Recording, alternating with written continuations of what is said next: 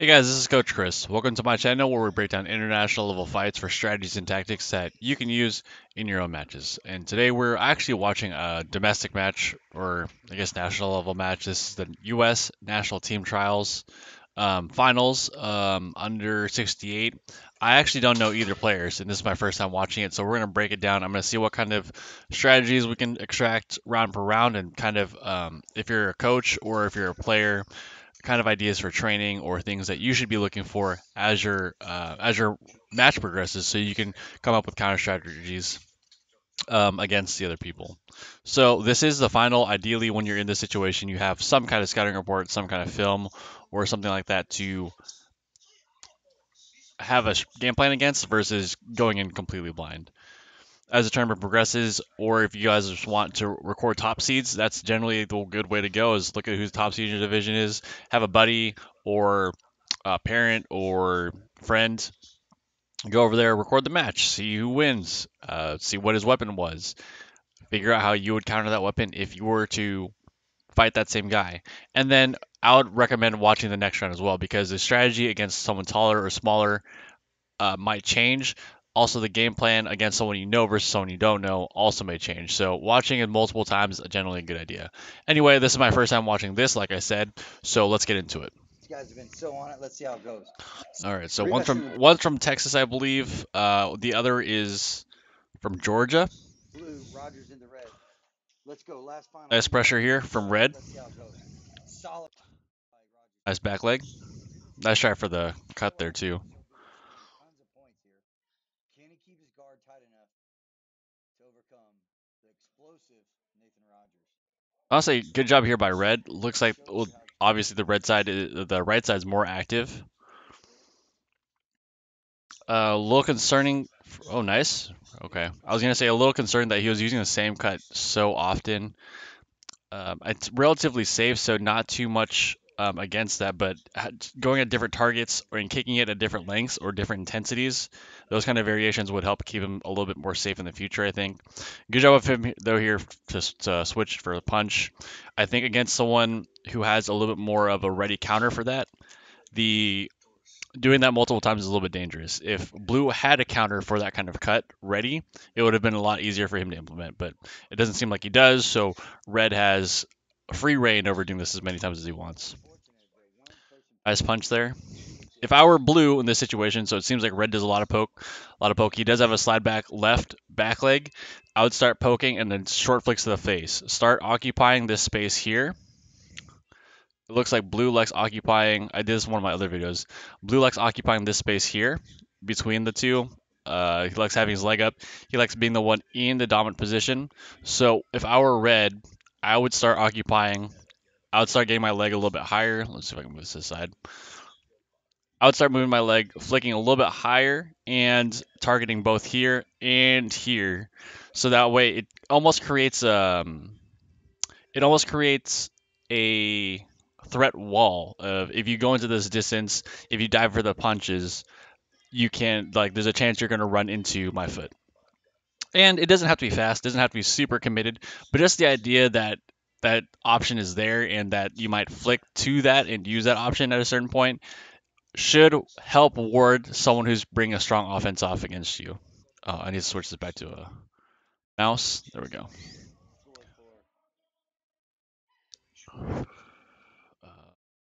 Forward, fast forward. Something about a card. Very early in the match. I'd one point uh, one point for punch. I can see that.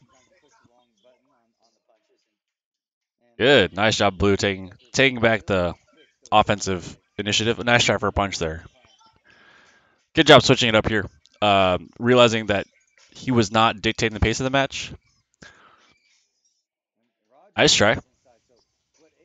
Oh, and red scored though. Unfortunate.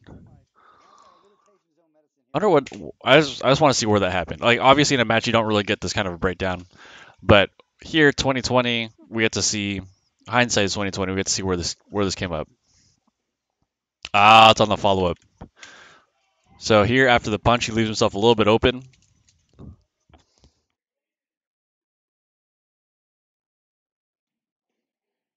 He's going If the opponent's scooting back, I can see him trying for the clinch here. I think that was just a misread of distance, which left him open. I would say don't, unless they stop moving backwards, don't try and commit too quickly into doing that clinch. Because situations like this might happen where you get kicked underneath your hands. So what Aiden Rivas did so well in the quarters and semis now got a little taste of his own medicine. Nice cuts. I like mix it up by punch. Oh, okay, never mind. Again, Nathan Rogers, 26 years, been doing, doing this for a long time. He's very explosive. I talked about his linear, his in and out motion. Hard to read. So blue obviously wants these inside points. I would say one other option he can do, he may do in the future, is the Hosini clash, where instead of when you cut, instead of just cutting like this, you cut with your knee up, and then you kind of just move forward aggressively with your knee up as a kind of a shield to block below you while you get into the clinch and then try for something. Um, I don't know. I think in general, what Blue could have done in the situation here, I'll rewind it a tiny bit. He had two great pushes here. Not here. This is a good attempt. He has a good cut here. Boom. Another strong cut. Boom.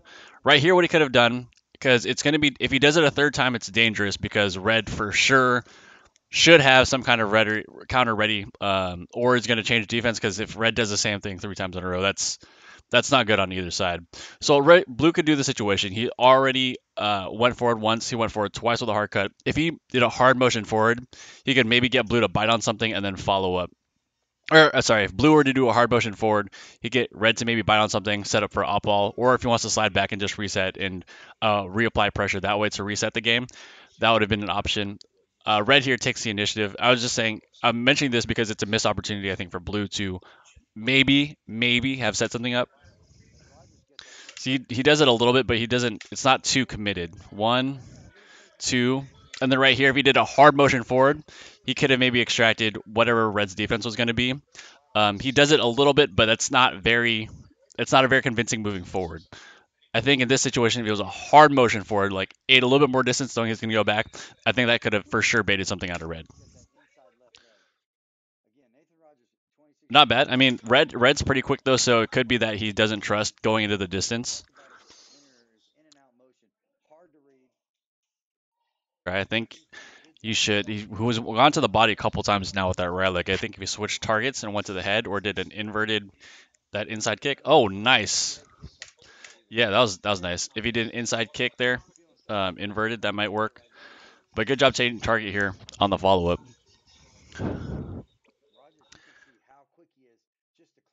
I almost I almost want to say blue does a good job of closing the distance, but the punch comes almost as an afterthought. If he expects red to stand there come in, I feel like the punch should be able to make contact.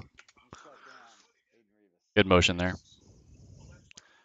Um, nice punch by red. I would say red right now is getting he's letting blue dictate the match. He needs to switch things around and either inch forward like he is now and threaten with those hard cuts he was doing earlier. I don't know why he changed that. No defend. Not bad. So a lot of the information I'm getting now is blue has a good wants to use that right leg on the inside.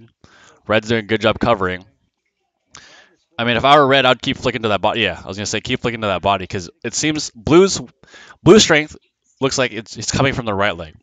The weakness and the small hole in the game is he's trying to get to that distance so fast and get to that, or rather, he's getting, trying to get to that di- that position so fast he's doing it a little bit too soon, and there's still space for Red's leg to come up as he's moving for that clinch, that push clinch kick. It's a little bit too early, and that's why Red's getting these points underneath his arms. I think there's opportunity where, or to deny that, an option you could do is when you slide all the way in, close the distance first, so that way they don't have opportunity to score, and then when you step your leg back, that's when you, that's you dictating the time to score. Um, like I said, Blue's doing it right now a little bit too early. Like, and I, am by a little bit too early, I mean like half a second too early, and that's where Red's able to get those pocket shots in. So good job by Red here. Even though he, Blue is dictating the pace of the match, uh, Red is doing a good job of finding his opportunities. He's, I think, in this situation, Blue or red knows that blue's right leg is coming, so he's throwing his left leg up there. One as a chance to score, but two also as a as kind of a block and a way to just mix up red's right leg because red's or, or Red's throwing his left leg up to mix up to a score, but b mix up his legs with Blue's, and Blue I think needs to switch legs to the other side, or at least feint on the other side to bait Red's either leg or arm to drop, and then find opportunities that way.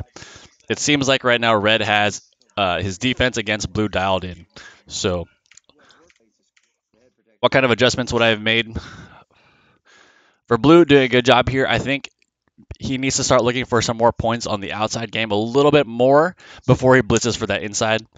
Uh, red here, the only thing I'm seeing because he's he's sneaking those points in Blue's weakness, which is his trying to close it too fast. Red here, I think, could also do the same, Try and look for a little bit more points on the outside, and it would be nice if he was dictating the pace of the match a little bit more. Um, it's going back and forth. I feel like it's 60% toward blue, 40% towards red in terms of who's controlling the pace of the match. I'd like to see it leaning a little bit more. Obviously, you want to see it more in your favor. If you watch Daehoon or any of those guys who are really, really good, they're always dictating the match- matches against the opponent and not vice versa. Very rare is it vice versa.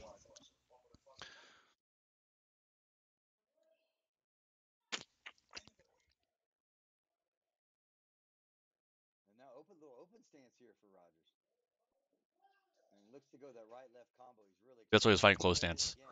Oh, No! Oh man, I was just praising you for blocking that, bro. It's still from the right leg. getting that. That's a big punch by Rivas. Unfortunately, The red was able to get his get it. Red was able to get his right leg in there, but it was also because he changed target. Usually when red clinched, it was to the body, so that one may have snuck in because it was to the head. got the big looping and by red, I mean blue. Blue's right leg, so it's now usually to the body, got in there, went to the head, so may have happened because he changed target. Red was expecting to the body or something. Nice, good follow. Oh, close. That's okay.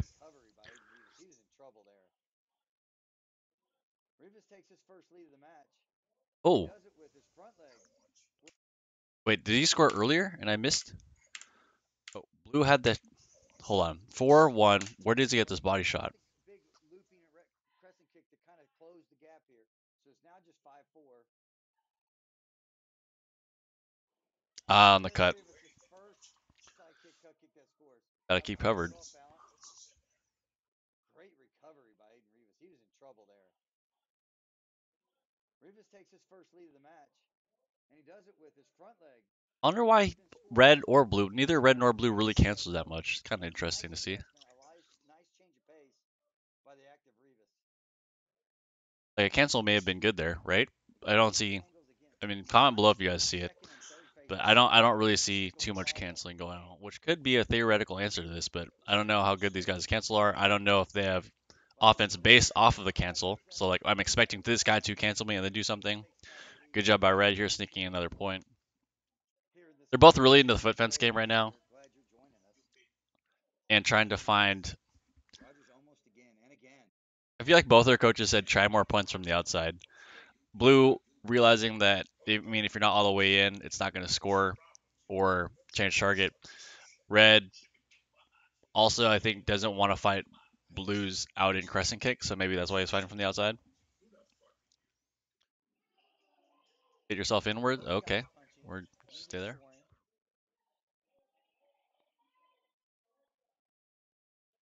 Goodbye, Blue. Blue here is still dictating the pace of the match. Good stuff. I think if he followed up, so there's some instances here where it's it's very very heavy right leg, which isn't necessarily bad, but in order to open up your right leg, sometimes you have to throw the left. So this is another situation where he's going in. He set this down here. There's possibility that if if he was expecting to expecting to use this leg just to switch it up, there's an opening here. He could just lift that up and go that way, right? But he's very keen on setting up this right leg of his, uh, so that's what he goes with. So as you guys are learning as well, and as you guys enter the clinch situation, just because you have a favorite leg doesn't mean you shouldn't. You should only throw that leg. Sometimes you have to throw your bad leg or your leg that's not as good to open up for that other side. Good cover. Rogers doing a great job dropping his left hand not to get scored on.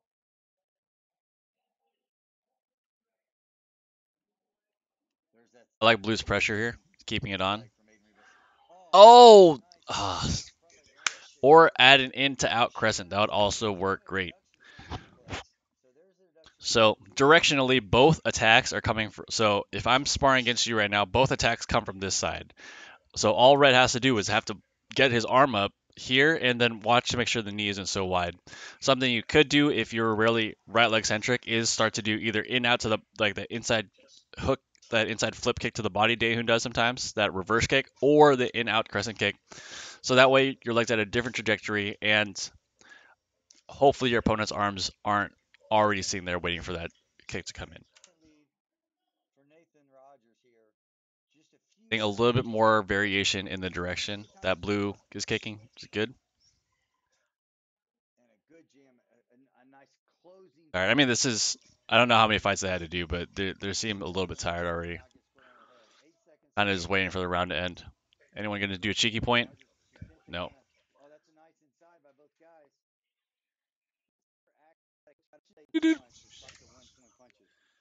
What's the adjustment? It seems like so. It seems to me like Red's pretty fatigued, so a lot of Red's gameplay may change.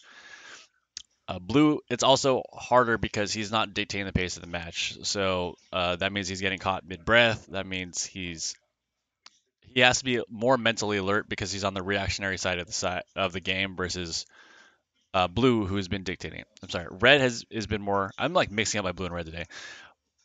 Blue has been dictating. Red, it's taxing Red a little bit more because he's reactionary in the game. Adjustments for third round. For blue, I would say you got to change the target a little bit. You can still use that right leg. Maybe throw that left leg in first a couple more times to make him conscious there, and then switch it up and use that right again. For red, uh, blue seems like his distance game is a little bit better. Trying to get in and hit that mid, so not all the way into the clinch, but get into that mid distance and start fading before he gets into the full clinch, I think is the ideal situation. Um, a good example of that would be Daehun when he fought uh, Sinden again in the Grand Prix, not in the World Champs, but in the Grand Prix. Daehun a great adjustment against someone who had who was stronger than him in the clinch, and so when Daehun got close, instead of engaging in the clinch, Daehun faded really far backwards and shot up also the body, up also the face, and I think he beats him by like 40 points. So look up that fight. Um, Sinden versus Lee Daehun, the Grand Prix, not the not the World Championship fight. So that's an example of what I'm talking about in this situation. You want to get close and then fade to prevent him fighting uh, in the clinch. Punch.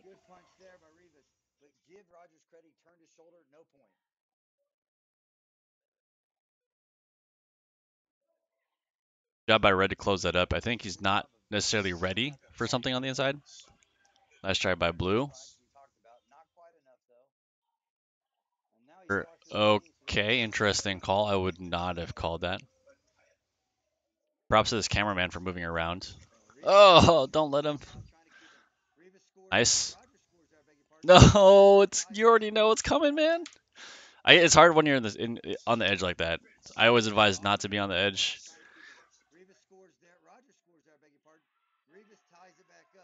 So if you guys notice here, this is what I've been kind of harping on. So here, boom, Red gets his his point in. Good for him. He tries once, but the follow up isn't immediate, right? He goes left, makes him conscious about that side, and then swoops in for the right leg again. Uh, that could just be because he's on the edge. It could be because Red's fallen over already. Uh, but I but following up with that left leg adds another dimension of mental pressure to the opponent. That was a nice, interesting punch. I don't know if they would score that now. It's kind of a punch is in a weird situation, weird spot in my opinion. Good slide cut kick there, just pushing Rogers back. Good Nice, nice, nice, nice. So that's what I was trying to say. This this little like he didn't he didn't create the opportunity on his own, but he did capitalize on it here. There, just pushing Rogers back. Boom, nice up ball, and then uh, this in this there's a pocket shot right here that's available if he if he wanted to take it. Boom, right there. If he were to go down and then deliberately throw that leg up, that short op ball kick right there, I think it's open because there's literally no coverage. There's you guys can see that right here. There's literally no coverage right there because he's very uh, blue's very very focused on getting this right leg up to score, that this bottom part under his Hogu is open. So if he if Red had that little tiny flick that Daehun has, or uh, a lot of the Finn flyweights we're using, that's the prime prime spot you want to be shooting that at. Nate Rivas got to keep his guard down because Rogers is sliding back, timing that. He's been so clean with it. Block. That's a Kicking big after kicking after deduction Really? I don't know about that. Oh, nice job by from range. Nice job from range by Blue. So good job. Uh, I like that because Blue kept this kind of in his pocket. He showed he showed this a little bit um, in the other rounds, but he didn't use it that much. Great work there. last three. He ties it up. That's what he does so well. He just Good job by Blue there, getting him on the edge, flicking to the face. Red's a little bit fatigued. So if you're a little bit fatigued, every now and then, like slightly more often than not, this seems like counterintuitive. But if you throw hard motions forward, it generally, if your opponent bites, buys you a few more seconds of recovery. So if I'm super tired and a hard motion forward, the other guy, assuming that you're good enough to get them to react, should react a little bit, and then we'll kind of ease back into place. But after you do that hard motion, you can go immediately to relax, relaxing. That should buy you like one or two or three more seconds of recovery. And you know, in this game, that's that's big. So that's a tip for you guys. Hard motion and throw pretending like you're going to go on offense more often when you're tired. Put your opponent on the back foot allows you to breathe a little bit more. I talked about it. Can he do it? Both these guys on the precipice of trying to make the national team. Who's going to do it at 13 13, 40 seconds left? Crowd's on the edge of their seat. Well, uh, in done or something. Kick right on the Kalyeo.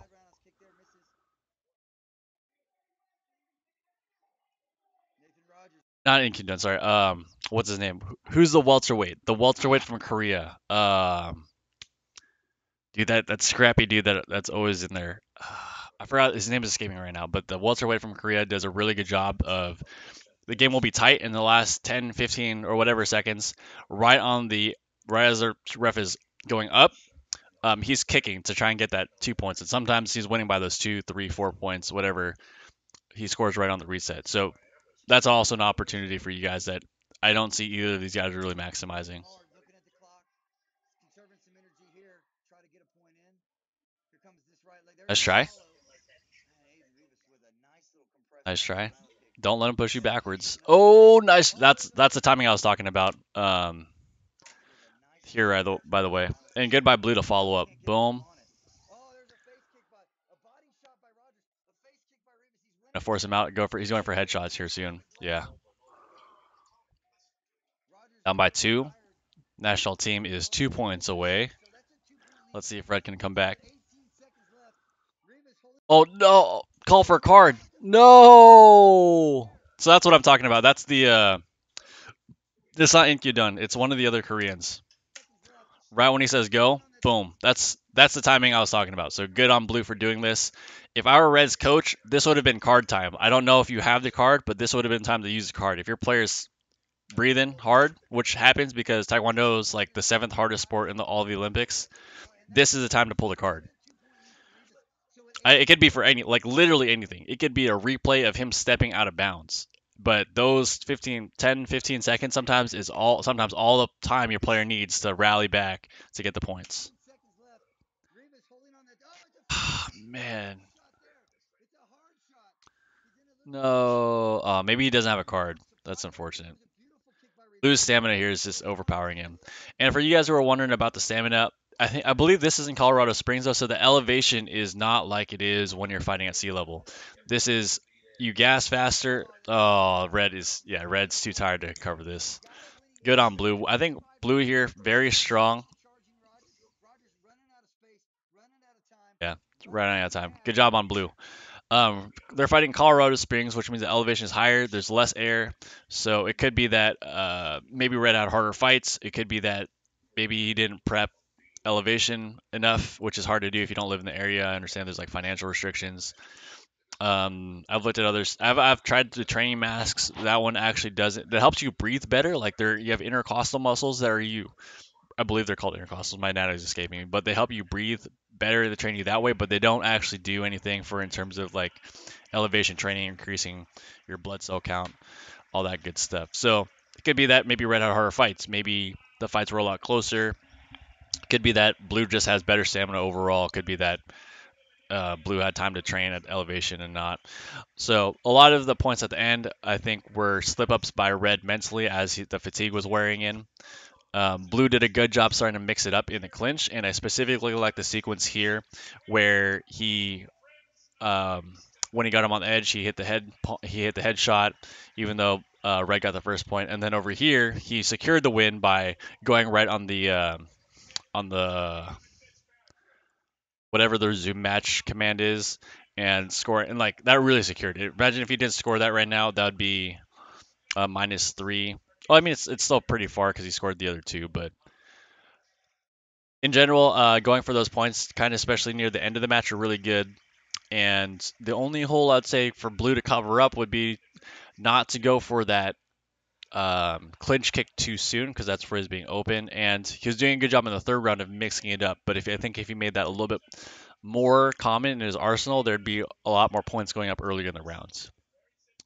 Red, he did a pretty good job um, initially, and then I think in the second half of the first round and onward, he kind of let Blue dictate the match, which may have added to why he's so fatigued. He did a pretty good job with his front leg scoring on the points as he's coming in. Uh, but I think there's other times where he could maybe have scored, maybe went to the head, and there's certainly some opportunities when Blue's closing the distance where he could have snuck in a couple more op ball shots. Um, but overall, good match by these two guys. I don't know either of them. I, I with the pixels, I can't really recognize the coaches, and I haven't been on the U.S. Taekwondo scene in super long, so I might not even know these coaches. But overall, um, great fights by these players. Congratulations to Blue for making national team, and um, that's it for today, guys. See you guys next time. Oh, also, also, please like and subscribe. I have to say that now. Um, it really helps my the algorithm out. Um, get these videos out to more people who are interested in Taekwondo, and I'd really appreciate it. Thank you, and see you guys next time.